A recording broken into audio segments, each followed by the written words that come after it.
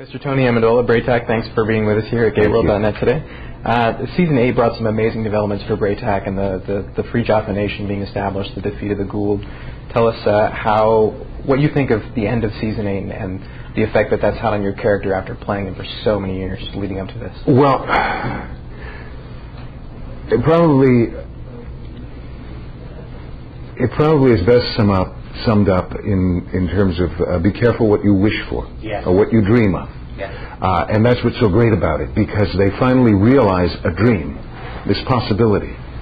But dealing with the reality of it, of, of factions of powerful people and personalities, is really wonderful. And it's, uh, you know, as, as all sci-fi, it's sort of a, uh, it mirrors uh, the modern world. It's not about uh, anything uh, that's out there. It's about everything that's down here. And so, uh, and, you know, if you look at the world today and, and, and you uh, look at the world over the last two millennium, it's a similar thing. So it's very exciting. Yeah. There's quite a bit about the Free Jaffa Nation, obviously. Uh, a, a major character in season 9 is, is Lou Gossett's Mhm. character. Uh, have you found out uh, when Bra'tac's going to be back yet? Uh, yes, I'm coming back uh, next month, so I'm not quite certain if that's episode 8, 9, something like that.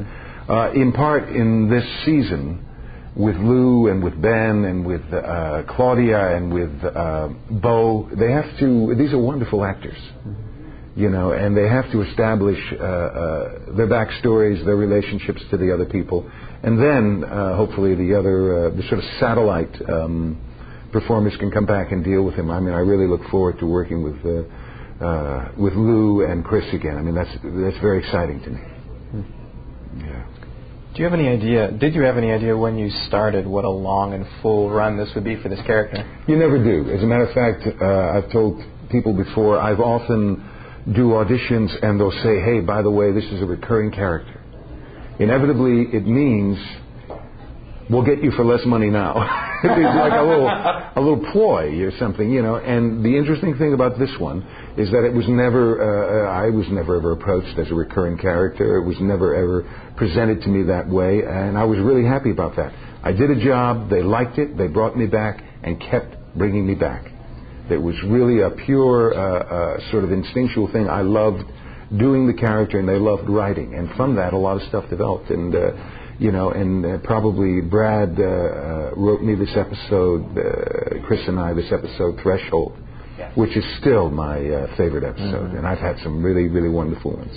Uh, uh, you know, with tons of backstory and stuff, and. Uh, um, no, I, I had no idea, you know, I had just no idea. And I'm still amazed because rather than winding down, the thing is actually expanding the show, you know, and, you know, 9 in particular. yeah, and with these uh, uh, sort of new characters, uh, I mean, it's it's like rather than uh, a series sort of the arc of a series is sort of uh, like sort of like a diamond. It sort of starts down here, nobody knows. It goes up to here, and then maybe about the fifth, sixth year, it goes six, seven. Uh, This one was very unique because no one really knew the show, and it was written well and produced well.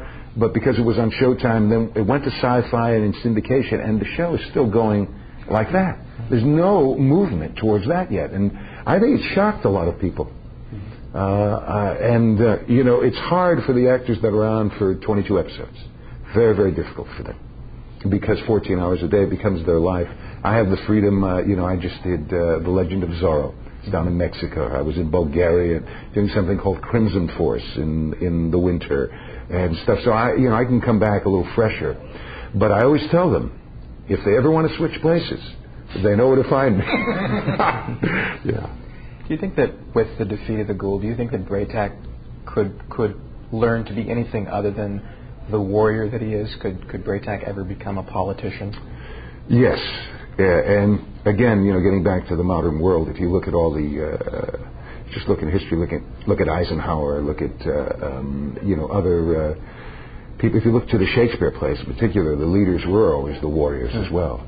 Uh, so yeah, I, I think it's it, because he's of a different. Now we're so compartmentalized, you know, and everything is so specialized that you know he's a, an old world type of guy. He's more of a Renaissance guy, where there's everything. You know, uh, I mean, it doesn't surprise me if he were to spout poetry. It doesn't surprise you when he goes out and, and deals with some Jaffa that are you know twice as big as him because it's on some level, it's more about what's in here Mm-hmm. and and the wisdom. So In Maternal Instinct, it was almost as if uh, Bra'tac found his own religion with with the monk at Kheb. Yeah.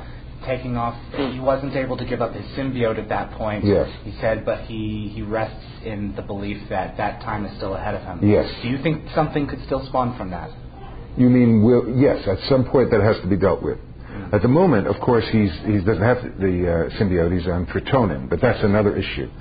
But the notion of delegating power, of giving up power, well, part of the problem when you look at um, uh, leaders is, again, a Shakespearean theme of when do you give up power to the young.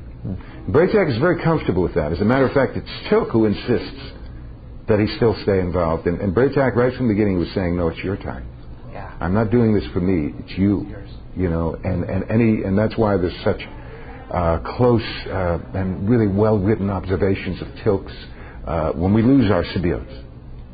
That Tilk all of a sudden is not himself, and you know because it's like a it's like a mental kind of uh, um, depression, a, a, a kind of absence of this power. And Bra'tac says, no, no.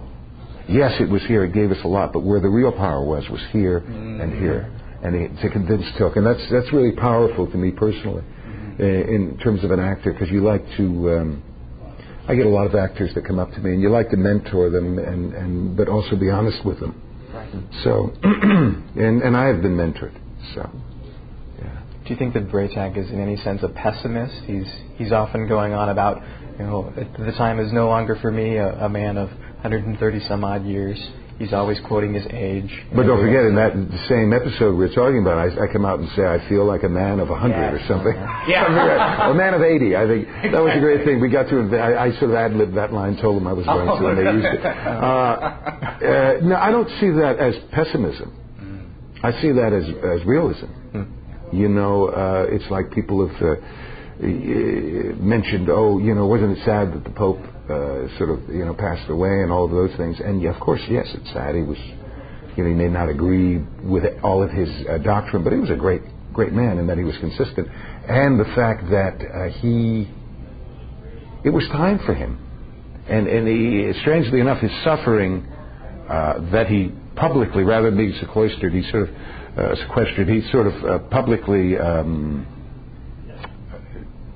allowed himself to be seen in a frail state, and I, I think Bra'tac's a similar thing. He knows that his time is coming. I mean, I, I don't mean to compare Braytak to the Pope, No, right. you know, but I'm just talking about that state. Yeah. Uh, and so it's very, very interesting. I see him as a realist, not as a pessimist at all. Yeah. The character's certainly certainly beloved by fans. Yeah. Uh, but the writers have this wonderful fondness of killing off long-term characters. Is this a fear for you every time you receive a new script? Yeah, of course. Yeah, I mean, you know, but uh, I know it's coming. I, I always say I just I'd love to go out on a bang, with a maybe uh, with a beginning, middle, and end. I'd like it to be, you know, and you often, you know, you have ideas of how it should be, uh, or, or something. But uh, you know, in part because I was an obvious choice to die, it was I was almost safer. You know what I mean? It wasn't going to be a surprise. So I think uh, I was fortunate in that way. But I, I do admit I do love doing the show, and occasionally, when I get a new script, I'll uh, look back, think, oh, oh, good. I'm there because you know. I mean, I respect uh, respect Brad uh, Wright, and he writes so wonderfully. So I hope it never comes. You know, but when the time comes, I think you know he he he created the character. He loves the character. Uh, he'll send them out well. Right, you won't be shortchanged. I hope not. I hope not. Sometimes uh, time or something else will create sort of an expediency, a need for that, but I hope not. Yeah. You've been doing a lot of fan conventions lately. Uh, what is it that you like about meeting fans face to face? Well, what did I do this year? I try. I do about maybe three or four a year, uh, depending. Uh, the first thing I love is the travel. So I love to. Um, I mean, get a chance. I went to New Zealand. How often do you have a chance to New Zealand? So that's the that's very attractive to me. Yeah. uh, That also the fans because you're grateful to them. By and large, uh, uh, they're extremely nice and uh, warm, and uh, you know how else uh, the show is there because of you. So it's a strange sort of thing that you know in some of these events we're put on a pedestal, but you, we are your Frankenstein. And a lovely Frankenstein you are. Thank you very much. Tony Amendola, thanks so much for talking Thank with Thank us. you. sir. Thank you for seeking me out, and I look forward to uh, checking you out on the web. I haven't seen your stuff. Outstanding. Thanks. Thank you, sir.